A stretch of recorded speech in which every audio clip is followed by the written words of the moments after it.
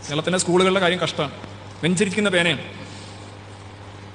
സ്വന്തം പേന വെച്ച് എഴുതാനുള്ള ആത്മവിശ്വാസം നഷ്ടപ്പെട്ട കുട്ടികളാണ് ഈ കേരളത്തിൽ. അവർക്ക് ഏഴാം ക്ലാസ്സിൽ ഏഴ് വട്ടം എഴുതി ഏഴ് വട്ടം പൊട്ടിയിട്ട് പോയി മദ്രസയിൽ പോയി മുക്രി ആയവൻ പൂജിപ്പിച്ചിരുന്ന പേന വെച്ച് എഴുതിയെങ്കിലേ ഈ പത്താം ക്ലാസ്സുകാരനും എം എസ് സി ബിസിക്കാരനും എഴുത്ത് വരും അവൻ അവന്റെ ജീവിതകാലഘട്ടത്തിൽ എഴുതി എഴുതി തോറ്റ് തോറ്റ് ഒരു ഗതിയില്ലാതെ പൂജാരിയായിട്ടോ മുക്രിയായിട്ടോ ഉസ്താദായിട്ടോ പോയായിരിക്കും. അപ്പം അവനിപ്പോൾ എന്താ ചെയ്യുന്നത്? പരീക്ഷ എഴുതുന്ന കുട്ടികൾക്ക് പേന പൂജിച്ചു. അല്ല അങ്ങനെയാണല്ലോ. ഒരു നട്ടോ ബോൾട്ടോ തിരിച്ച് അങ്ങോട്ടോ ഇങ്ങോട്ടോ മുറുക്കിയിടാൻ അറിയാത്തനാണല്ലോ വിമാനത്തിന് പോയി വെഞ്ചരിപ്പ് നടത്തുന്നത്. അങ്ങനെ അങ്ങ് അംഗീകരിക്കുക.